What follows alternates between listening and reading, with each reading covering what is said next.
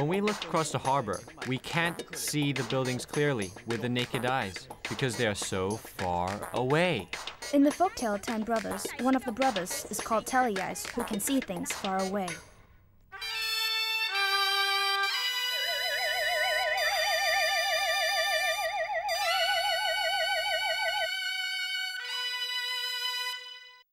A tale is only a tale, but this story still reflects man's wish to broaden his view of the world. But the human eye is limited. If we wish to look farther or see more closely, we need the help of optical instruments.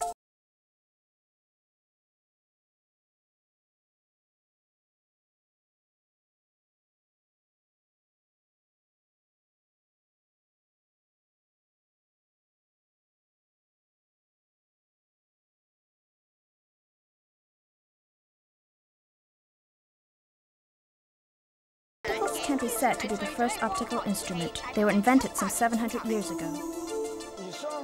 About 300 years later, Galileo made a telescope from spectacle glasses and used it to observe the celestial bodies.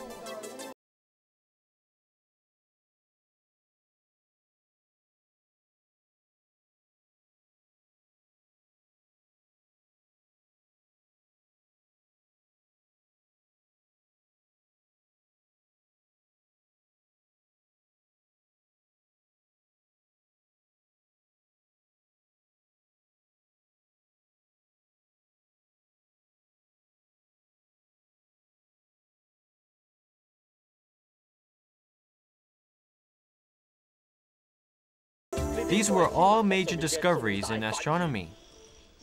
The birth of a telescope spurred the development of astronomy. The microscope was then invented. This opened the door to microbiology and allowed men to see what the human eye could not see before. With the help of microscopes, biologists discovered cells and microorganisms, and biology entered a new stage. All optical instruments, including the telescope and the microscope, are made up of different lenses. Lenses are usually polished and made from pieces of glass. Both surfaces of each of these pieces of glass are curved. A lens thick in the middle and thin on the edge is a convex lens.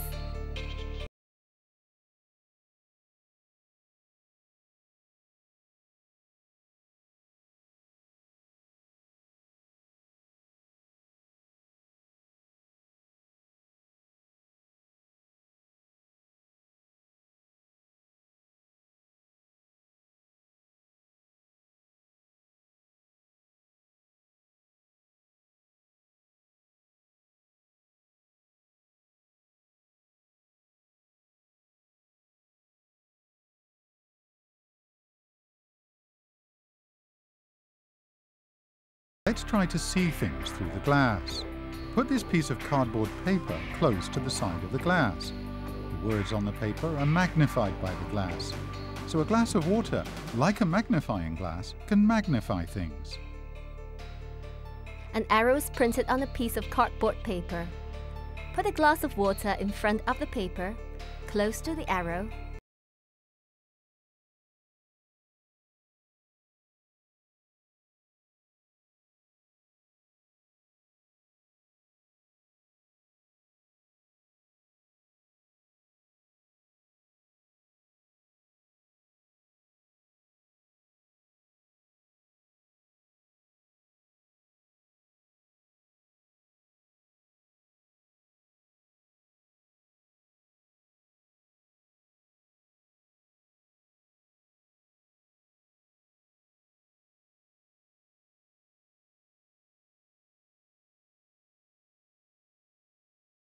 This is because of the refraction of light by the water in the glass. The images formed are sometimes magnified. and sometimes reduced. sometimes real, and sometimes virtual. These are the properties of an image formed by a convex lens.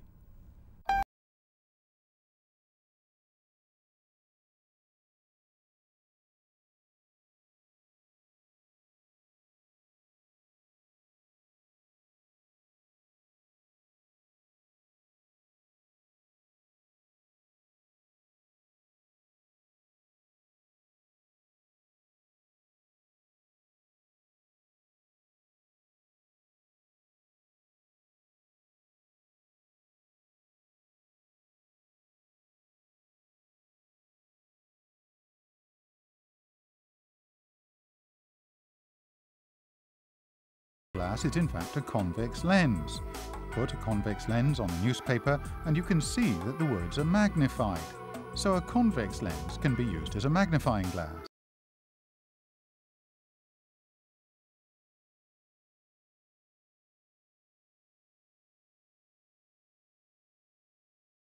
Heat on your hand at the bright spot.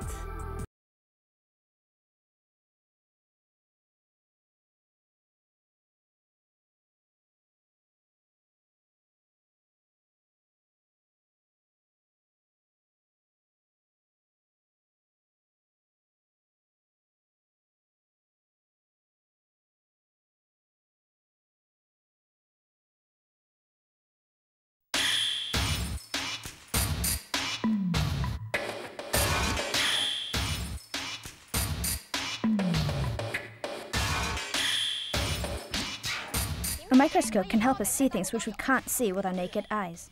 There are several types of microscopes. To understand how a microscope works, we can use a drop of water.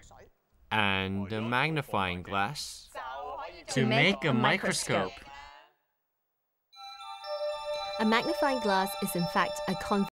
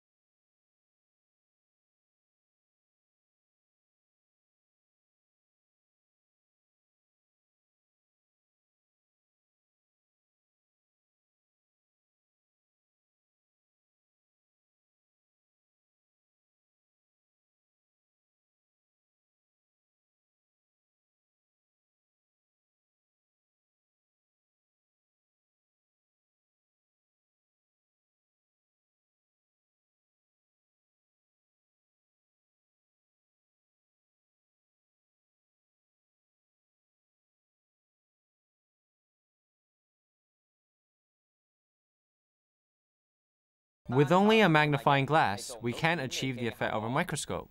But if we use two magnifying glasses and place them at a particular distance from each other, objects will be magnified twice and look much bigger.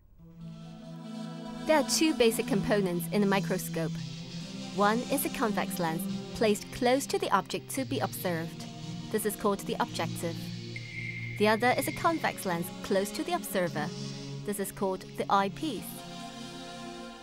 First, the objective forms an inverted, enlarged real image. The image is then further enlarged by the eyepiece, which acts like a magnifying glass. We can use a water drop as an objective and a magnifying glass as an eyepiece. First of all, print some small letters on a piece of paper and use these as the object to be observed. Through the water drop, we can see an enlarged and inverted letter. This is an enlarged real image. Then use a magnifying glass to observe the water drop. At first it seems that we can't see anything, but don't worry. Carefully adjust the distance between the magnifying glass and the water drop, and then you'll see a letter that's clear and much enlarged. Monocle optical microscopes are, of course, more sophisticated than our water drop microscope. But the working principle is the same as that of a water drop microscope.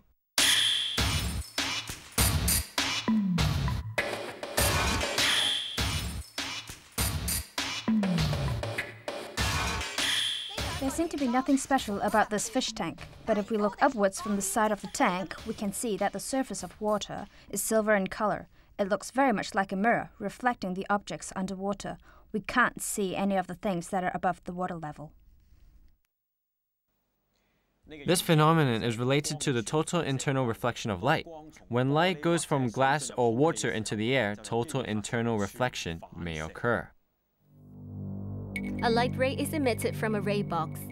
When it hits the curved surface of a semicircular glass block, it goes into the glass. After reaching the inner surface of the glass, the incident ray is divided into two rays. One is reflected into the glass, and the other is refracted into the air. If we slowly increase the angle of incidence on the inner surface of the glass, the light ray refracted into the air becomes weaker and the reflected light becomes stronger.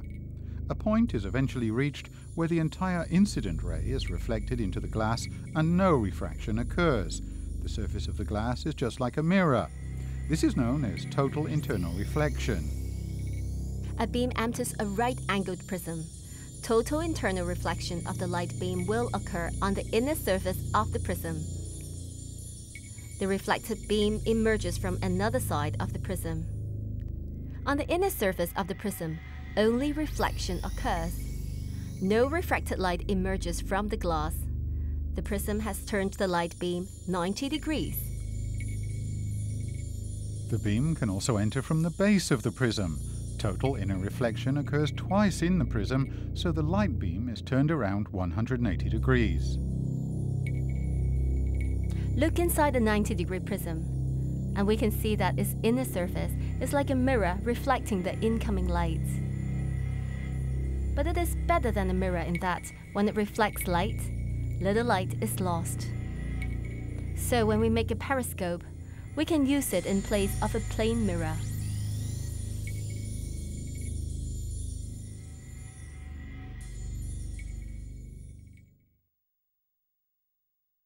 Total internal reflection has various applications. For example, on the road surface there are reflectors on the road dividing lines. At night time, the reflectors reflect the light from car headlights into the eyes of the driver.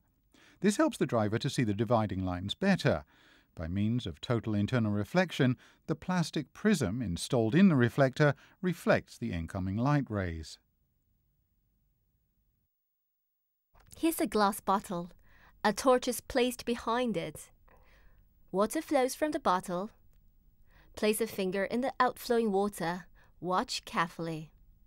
The finger is illuminated by the torch. So long as the finger follows the column of water, it is illuminated. Light seems to be traveling along the curved path of the water. But doesn't light travel in a straight line? It's strange.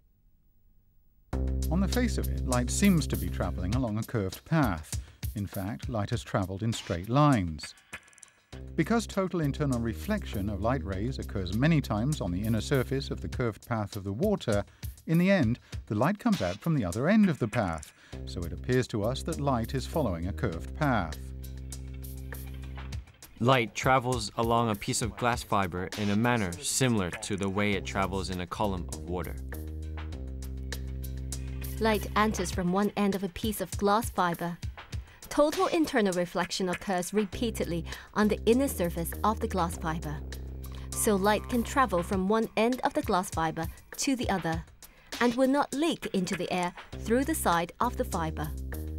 The principle of total internal reflection is also applied to this display. These transparent strips are made of glass fiber. Light enters from one end of the glass fiber and comes out from the other end after several total reflections. A lot of light spots are formed as a result. With the advancement of science and technology, these glass fibers can be made as thin as a spider's thread. Glass fibers that are used to transmit light are called optical fibers.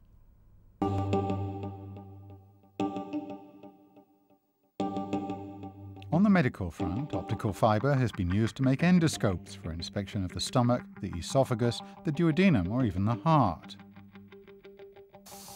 In the 80s, video endoscopes were developed. The doctor can use the video endoscope to direct high intensity laser beams to treat wounds and remove small tumours in the body. Optical fibers transmit information much more efficiently than copper wires. A pair of metal wires can only transmit 1,000 odd telephone messages at a time. But theoretically, a very thin optical fiber can transmit 10 billion messages at a time. And the flashing signals made by a laser can be transmitted through optical fiber at a high speed. In addition to telephone communication, optical fibers can be used to transmit signals for automatic teller machines, EPS service, fax, teleconferences, internet, and interactive TV. So, optical fiber is very widely used in everyday life.